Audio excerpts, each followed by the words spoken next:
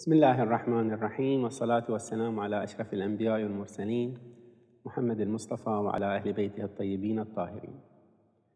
ما زال الحديث أيها الأحبة حول التساؤلات القرآنية التي قد تعرض لنا ونحن نتلو القرآن في هذا الشهر الشريف. والتي لا يمكن أن نتجاوزها إلا بفهم يزيل الإشكال العقدي أو الفكري الذي قد يلتبس في عقولنا. ولو كان هذا الفهم بالحد الأدنى. نشير اليوم لهذا التساؤل. في قول إبراهيم عليه السلام فلما جن عليه الليل رأى كوكبا قال هذا ربي. كيف يمكننا قبول هذا المعنى؟ كيف يقول إبراهيم هذا القول؟ أليس هذا إشكال عقائدي كبير؟ أليس ذلك منافيا للتوحيد؟ في مقام الإجابة يوجد العديد من الإجابات الشافية التي يوردها العلماء الأجلاء. ونحن هنا نشير إلى رواية واحدة عن الإمام الرضا عليه السلام. يقول الإمام عليه السلام. إن إبراهيم وقع على ثلاثة أصناف. صنف يعبد الزهرة وصنف يعبد القمر وصنف يعبد الشمس. وذلك بعد أن خرج من السرب الذي أخفي فيه. لأن إبراهيم قد أخفي ما يقارب ثلاثة عشر سنة في ذلك الكهف الذي ولد فيه إلى أن آه، جاءت السنة التي توفي فيه والده لتتزوج أمه بعمه آزر. فلما جن عليه الليل رأى الزهرة فقال هذا ربي على الإنكار والاستخبار. أي أنه هنا لا يخبر الجملة ليست خبرية بل إنشائية. على الإنكار والاستخبار. أي أنه قال حينما رأى الزهرة هذا ربي أو هذا ربي أي أنه يستنكر أو يستخبر عن الأمر. لا أن يخبر عن الأمر. ويقول هذا ربي. فلما أفل الكوكب قال لا أحب الآفلين لأن الأفول من صفات الحدث لا من صفات القديم.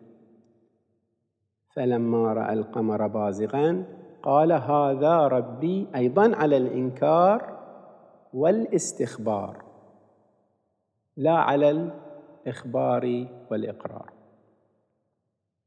أي بمعنى أنه قال هذا ربي يقصد القمر. فلما أفل قال لئن لم يهدني ربي لأكونن من القوم الضالين.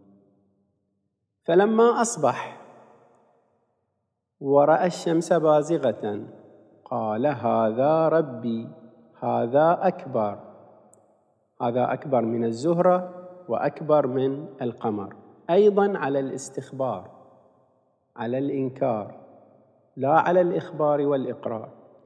فلما أفلت قال للأصناف الثلاثة من عبدة الزهرة والقمر والشمس إني بريء مما تشركون. إني وجهت وجهي للذي فطر السماوات حنيفا وما أنا من المشركين. وإنما أراد إبراهيم عليه السلام بما قال أن يبين لنا بطلان دينهم. أن العبادة لا تحق لمن كان بصفة الزهرة والقمر والشمس إنما تحق العبادة لخالقها وخالق السماوات والأرض. وكان ما احتج به على قومه مما ألهمه الله عز وجل وآتاه. وتلك حجتنا آتيناها إبراهيم على قومه. ونورد هنا تساؤلا آخر عن قول إبراهيم عليه السلام رب أرني كيف تحيي الموتى؟ قال أولم تؤمن؟ قال بلى ولكن ليطمئن قلبي. التساؤل هنا كيف يسأل إبراهيم هذا السؤال؟ الذي لا نقبله على مؤمن عادي. المؤمن العادي لا يتساءل هذا السؤال. المؤمن العادي يؤمن بأن الله يحيي ويميت. فكيف بهذا النبي من أولي العزم عليهم السلام؟ أيضا هنا في مقام الإجابة هناك العديد من التفاسير في هذا القول. ولكن نورد أحدها فقط وهي أيضا رواية الإمام الرضا عليه السلام. يقول الإمام الرضا عليه السلام إن الله تعالى أوحى إلى إبراهيم عليه السلام أني متخذ من عبادي خليلا. وحي إلهي من الله إلى إبراهيم. أنني سوف أتخذ خليلا. ما علامة هذا الخليل الذي سأتخذه؟ إن سألني إحياء الموتى أجبته. فوقع في نفس إبراهيم عليه السلام القول الإمام رضا عليه السلام. فوقع في نفس إبراهيم عليه السلام أنه ذلك الخليل. فقال ربي أرني كيف تحيي الموتى. إبراهيم أراد أن يكون هو خليل الله. فبادر بهذا السؤال.